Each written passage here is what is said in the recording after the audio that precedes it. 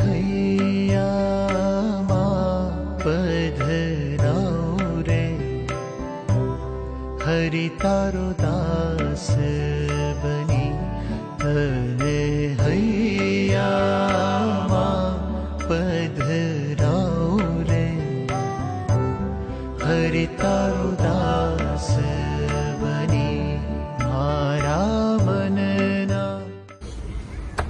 बोलिये બ્રહ્મ છું પણ કૃષ્ણનો દાસ. છું એવું બોલીએ ભગવાનના